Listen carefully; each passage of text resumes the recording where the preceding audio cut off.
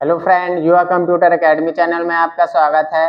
जैसा कि आपको मालूम है कि मैंने पिछले सेमेस्टर डीसीए और पीजीडीसीए के वीडियो यूट्यूब में अपलोड किया था। सेकेंड सेमेस्टर के भी वीडियो मैंने आज से अपलोड करना स्टार्ट कर दिया है। तो आज से मैं सेकेंड सेमेस्टर में आईटी ट्रेंड डीसीए वालों का आज इस वीडियो में क्वेश्चन रहेगा यूनिट वन का। क्योंकि डीसीए और पीजीडीसीए में जो आईटी ट्रेंड है आपका फ़र्स्ट और सेकंड यूनिट अलग है डीसीए का अलग है पीजीडीसीए का अलग है। तो आज का जो वीडियो रहेगा आपका DCA second semester IT trend subject का यूनिट वन का पहला क्वेश्चन आपका है यहाँ पर। मल्टीमीडिया क्या है? मल्टीमीडिया के कंपोनेंट एवं एलिमेंट्स के बारे में विवरण दीजिए। तो सबसे पहले यहाँ पर आपको क्वेश्चन का जो है आंसर आपका ये है कि मल्टीमीडिया क्या होता है? इसके बारे में आपको जानकारी होना चाहिए कि मल्टीमीडिया क्या है। मल्टीमीडिया, है ना? देखो, मल्टी मतलब क्या होता है आपका? यहाँ पर मल्टीमीडिया जो दो है, शब्द आपका मल्टी मल्टी और मीडिया शब्द से बना हुआ है। किससे? मीडिया। मल्टी मतलब होता है अनेक और मीडिया मतलब होता है आपका साधन। है ना? तो ऐसा सिस्टम जिसमें अनेक साधन हो, है ना? जैसे कि यहाँ पे आपका जाएगा अब मल्टीमीडिया है ना? तो मल्टीमीडिया मतलब क्या हो गया? दो शब्दों से तो मिलकर बना है आपका। मल्टी मतलब अनेक मीडिया मतलब साधन। तो अनेक साधन। तो यहाँ पे आ जाएगा, चूँकि कि मल्टीमीडिया क्या होता है? एक साधन होता है। किसका? देखो text audio audio, video, image image और एनिमेशन और एनिमेशन एनिमेशन का एक समूह होता है, का एक समूह होता है। है ना? बात करें मल्टीमीडिया की तो आपको समझ में आएगा कि जिसमें, है ना, ऐसे साधन जिसमें क्या क्या रहेंगे आपके? टेस्ट ऑडियो वीडियो एनिमेशन इनके समूह को मल्टीमीडिया कहा जाता है। जैसे आपका एक मोबाइल होता है, अपन इसके एग्ज़ाम्पल के तौर पर ले लें कि भाई मोबाइल जो है आपका, क्या? मोबाइल आप बोलते हो कि मेरा मोबाइल जो मल्टीमीडिया मोबाइल तो मल्टीमीडिया का मतलब ही होता है कि जिसमें आपके ऑडियो वीडियो है ना इमेज इनका एक समूह होता है तो उसको क्या बोला जाएगा? मल्टीमीडिया अब मल्टीमीडिया का जो यूज़ होता है आपका, कहाँ कहाँ पे होता है? तो मल्टीमीडिया का यूज़ क्या होता है आपका? जैसे कोई भी जानकारी है इंफॉर्मेशन इंफॉर्मेशन को रोचक तरीके से दिखाने के लिए मल्टीमीडिया का यूज़ किया जाता है। आजकल मल्टीमीडिया का यूज़ आपका कहाँ कहाँ पे होता है भाई? बिज़नेस में हो रहा है एजुकेशन में हो रहा है। एजुकेशन में हो रहा है इंटरटेनमेंट के रूप में हो रहा है मल्टीमीडिया का यूज़ ठीक है? अब मल्टीमीडिया यूज़ करने के कुछ हार्डवेयर और सॉफ्टवेयर है। तो यहाँ पर आ जाएगा आपका मल्टीमीडिया मल्टीमीडिया को उपयोग करने के लिए, उपयोग करने के लिए हार्डवेयर और सॉफ्टवेयर की आवश्यकता होती है। क्या होती है आपके? हार्डवेयर हार्डवेयर और सॉफ्टवेयर सॉफ्टवेयर की आवश्यकता पड़ती है। हार्डवेयर क्या क्या आ जाएँगे आपके यहाँ पर? जो हार्डवेयर रहेंगे, देखो, आप कोई भी मल्टीमीडिया फ़ाइल बनाओगे तो उसमें आपको कुछ हार्डवेयर और सॉफ्टवेयर की आवश्यकता पड़ेगी। ठीक है तो हार्डवेयर कौन से रहेंगे यहाँ पर? मैंने बोल दिया हार्डवेयर कौन कौन से हैं आपके? हार्डवेयर तो पहला हार्डवेयर आपका यहाँ पर सीडी या डीवीडी ड्राइव लगेगा।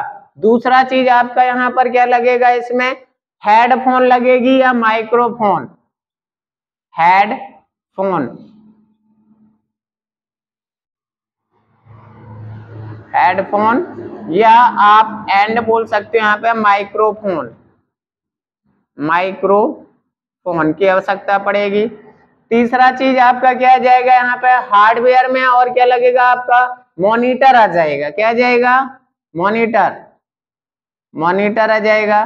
चौथा चीज़ क्या लगेगा आपको? यहाँ पर साउंड कार्ड आवश्यक रूप से लगेगा आपका। Sound card.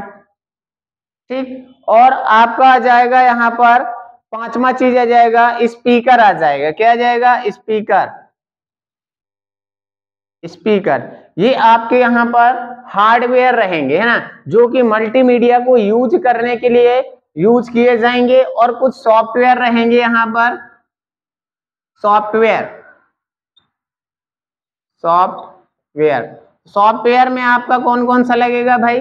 जैसे आपको फ़ोटो वगैरह एडिटिंग करना है इमेज तो इसके लिए आपको आ जाएगा अडोब अडोब फोटोशॉप फोटोशॉप आ जाएगा। ठीक? दूसरा चीज़ आपका क्या आ जाएगा? यहाँ पे अडोब फोटोशॉप के अलावा फ्लैश आ जाएगी। क्या जाएगी? फ्लैश फ्लैश आ जाएगी। तीसरा चीज़ आपका आ जाएगा यहाँ पर विंडो मीडिया प्लेयर जैसे आपको मल्टीमीडिया में कोई वीडियो चलाना है वीडियो है एनिमेशन लगाना है तो उसके लिए आपको मीडिया प्लेयर आ जाएगा। Window media player. Media player. ठीक है, ऐसे आ जाएगा आपका, विंडो मूवी मेकर आ जाएगा, जिससे आप मूवी वगैरह एडिटिंग कर सकते हो। Movie maker. Movie maker. Maker. और एक आ जाएगा मैक्स, ये भी सॉफ्टवेयर होते हैं ना। तो यहाँ पर आपको दो चीज़ की आवश्यकता पड़ेगी मल्टीमीडिया को चलाने के लिए या यूज़ करने के लिए हार्डवेयर और सॉफ्टवेयर ठीक है? अब इसके बाद आपका आ जाएगा कि भाई मल्टीमीडिया का जो यूज़ है, आजकल ना केवल बिज़नेस में किया जा रहा है, बल्कि एजुकेशन क्षेत्र में, घरों में सभी जगह इंटरटेनमेंट के रूप में आपके घरों में यूज़ किया जा रहा है मल्टीमीडिया फिर आपका आ जाएगा नेक्स्ट यहाँ पे आपको मल्टीमीडिया के बारे में इतना ही बताना है। आ जाना है आपके मल्टीमीडिया के कंपोनेंट एवं एलिमेंट्स तो इतना स्क्रीनशॉट लेना चाहते हैं तो ले सकते हैं।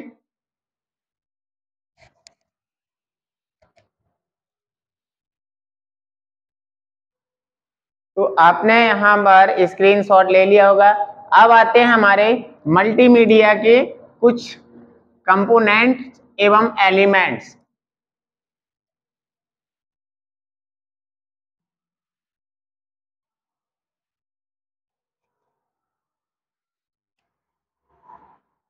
तो बात करें यहाँ पे कंपोनेंट की।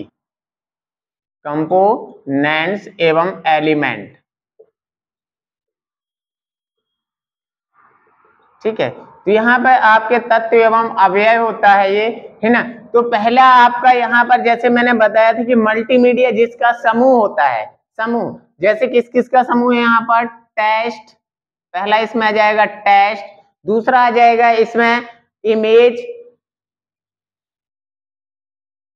इमेज तीसरा आ जाएगा, साउंड।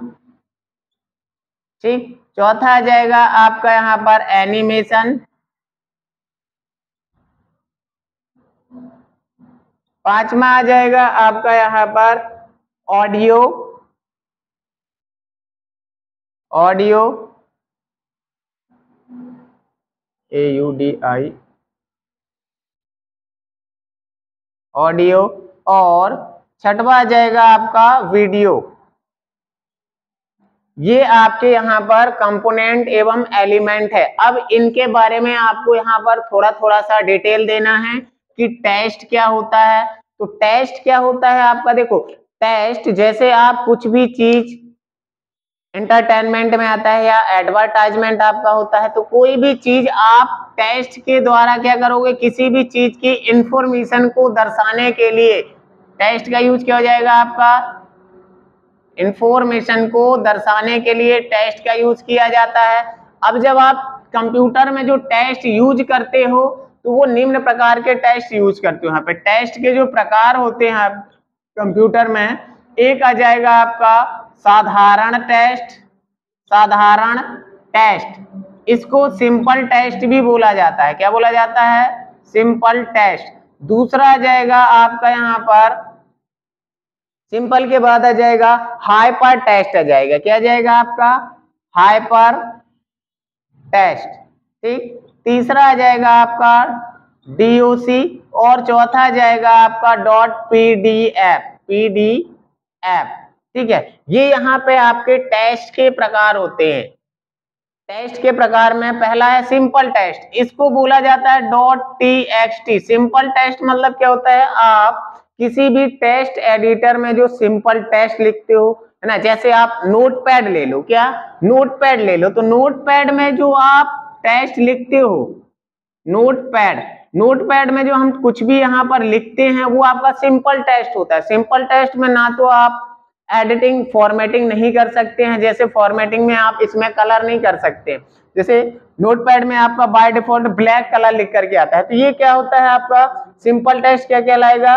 जो डॉट टी फॉर्मेट में होता है, उसे सिंपल टेस्ट कहा जाता है। अर्थात जो नोटपैड में आप क्या करते हो? टेस्ट लिखते हो या नोटपैड में जो फ़ाइल बनाते हो, वो सिंपल टेस्ट कहलाती है। फिर बात करें हाइपर टेस्ट तो हाइपर टेस्ट क्या होती है?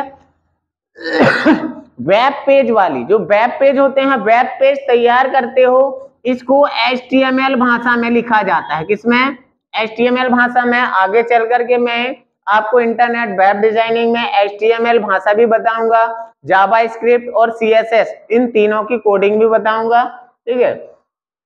फिर आपका जाएगा next dot D O C तो डॉट डीओसी का मतलब क्या होता है? कि डीओसी आप जानते हो किसका एक्सटेंशन कोड होता है, आपका एम एस वर्ड का एक्सटेंशन कोड होता है यहाँ पर। तो डीओसी क्या होता है? जो भी टेस्ट या जो भी फ़ाइल आप एम एस वर्ड में बनाते हो, किसमें? एम एस वर्ड में बनाते हो, है ना? तो ये इसको बोला जाता है फॉर्मेट टेस्ट क्या बोला जाता है? फॉर्मेट अब फॉर्मेट क्यों बोला जाएगा यहाँ पर? जो आपका एम एस वर्ड है यहाँ पर, इसको फॉर्मेट टेस्ट भी बोला जाता है। क्या बोला जाता है? फॉर्मेट टेस्ट ठीक है? फॉर्मेट टेस्ट का मतलब होता है, इसमें आप एडिटिंग का वर्क कर सकते हो। किसका? एडिटिंग जैसे कलर वगैरह लगा सकते हो आप, इसमें कलर कर सकते हो, कोई स्टाइल लगा सकते हो इसमें। स्टाइल्स लगा सकते हो। तो ये सब क्या कहलाता है आपका फॉर्मेट टेस्ट। कुल मिला के आपको यहाँ पर जो एम एस वर्ड के द्वारा आप टेस्ट लिखते हो, उसके बारे में बताना है। फिर आ जाएगा आपका डॉट पीडीएफ है ना? पीडीएफ का पूरा नाम क्या होता है आपका? पोर्टेबल डॉक्यूमेंट फॉर्मेट क्या होता है? पोर्टेबल डॉक्यूमेंट फॉर्मेट इसका यूज़ जो होता है नेटवर्क में किया जाता है। नेटवर्क मतलब जैसे आप इंटरनेट से कोई पीडीएफ फ़ाइल एक स्थान से दूसरे स्थान तक भेजते हो तो वो क्या कहलाता है? नेटवर्क में यूज़ कहलाता है। फिर यहाँ पर टेस्ट के आपका टेस्ट का पूरा होता है नेक्स्ट आता है आपका इमेज तो इमेज क्या होता है आपका? है ना? इमेज इमेज की बात करें तो इमेज क्या होती है? एक ग्राफिक्स फ़ाइल होती है। ग्राफिक्स मतलब क्या होता है? जैसे आप कोई भी फ़ोटो बनाते हो तो उसको ग्राफिक्स बोला जाएगा। क्या बोला जाएगा? ग्राफिक्स है ना? तो इमेज कुल मिलाकर के आपकी एक ग्राफिक्स फाइल्स है, जिसका यूज़ मल्टीमीडिया को मल्टीमीडिया को एक अच्छे तरीके से दिखाने के लिए किया जाता है। अब इमेज आपकी दो प्रकार की होती है कंप्यूटर में। पहली इमेज आती है बिट मैप बिट मैप और दूसरी आती है वेक्टर वेक्टर है ना? तो बिट मैप क्या होती है? बिट मैप इमेज जो पिक्सल की सहायता से बनाया जाता है। किसकी? पिक्सल की सहायता से जो इमेज बनती है, उसे बिट मैप इमेज कहा जाता है। जैसे कोई भी इमेज आपकी क्या है? बनती है तो वो कुछ हॉरिजेंटल और वर्टिकल लाइनों ऐसे मिलकर बनती है। तो हॉरिजेंटल और वर्टिकल लाइनों से मिलने के बाद जो एक क्या होता है? यहाँ पर ये डॉट बनता है। इसको पिक्सल कहा जाता है। क्या कहा जाता है? पिक्सल है ना? मतलब जो भी आप कुल मिलाकर के जैसे मोबाइल है आपका मोबाइल के द्वारा फ़ोटो कैप्चर करते हो तो वो कौन सी कहलाती है? आपकी बिट मैप इमेज रहती है। ठीक है? बिट मैप इमेज होती है वो। फिर आती है बैक्टर इमेज तो बैक्टर इमेज जो लाइनों की सहायता से बनती है, जैसे आप एम एस पेंटिंग है आपकी पेंटिंग के द्वारा जो भी इमेज बनाते हो और उसमें अलग से कलर फिल करते हो तो वो आपकी वेक्टर इमेज कहलाती है। ठीक है? यहाँ पर ये समझ में आ गए होंगे। फिर नेक्स्ट आता है आपका साउंड क्या आता है? साउंड तो साउंड का, मैंने बोला साउंड क्या होता है आपका? साउंड साउंड मतलब आपका कोई एक अर्थपूर्ण स्पीच जैसे हम कोई स्पीच देते हैं तो उसका कोई अर्थ निकलना चाहिए। उसको बोला जाता है साउंड है ना? अर्थपूर्ण स्पीच साउंड है। ये सबसे महत्वपूर्ण एलिमेंट होता है आपके मल्टीमीडिया का। ठीक? आप जैसे प्रोजेक्टर में आप क्या करते हो, कोई भी अर्थपूर्ण तो साउंड का यूज़ किया जाता है। एनिमेशन एनिमेशन क्या होता है? किसी भी तत्व को, है ना? जैसे आपका वीडियो है, कोई इमेज है तो इसको जीवांत रूप से, जीवांत जीवांत रूप से दिखाने के लिए एनिमेशन का यूज़ किया जाता है। जीवांत मतलब हलता डिलता हुआ नज़र आना चाहिए। तो वो क्या कहलाता है आपका? एनिमेशन कहलाता है। बात करते हैं ऑडियो की। ऑडियो क्या होता है आपका? ऑडियो वही है, अर्थपूर्ण स्पीच है ना? ऑडियो ठीक है? अब बात करें यहाँ पर।